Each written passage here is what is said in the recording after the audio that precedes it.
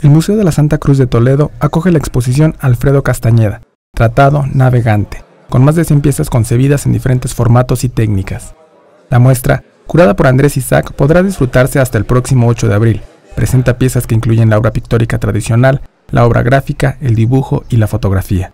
Además, un importante número de documentos adicionales que sirven de apoyo visual y documental de la trayectoria del artista mexicano, considerado una de las voces más importantes y particulares del arte mexicano, latinoamericano y universal.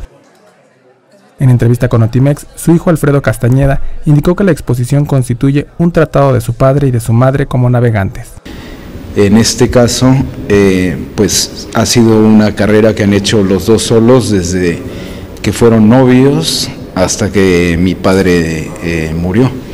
Y a, lo largo de su obra se puede ver muchísimo el tema de, del mar, de, de los barcos, de las naves, de personas que salen de los pastizales y que vuelan, personajes que, que quieren volar, sobre todo al cielo. Alfredo Castañeda, quien falleció en Madrid en 2010, tenía siempre dentro de su obra un razonamiento espiritual. La fe y la religión y fuera el judaísmo, el islamismo, las religiones de Oriente, sobre todo el cristianismo por supuesto, eh, son fundamentales en, en su obra. Alfredo Castañeda Padre ha sido definido como esotérico, simbolista y surrealista.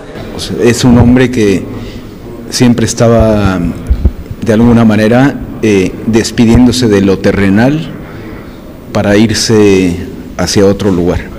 Con información e imágenes de Adela Maxwini, corresponsal en España, Notimex.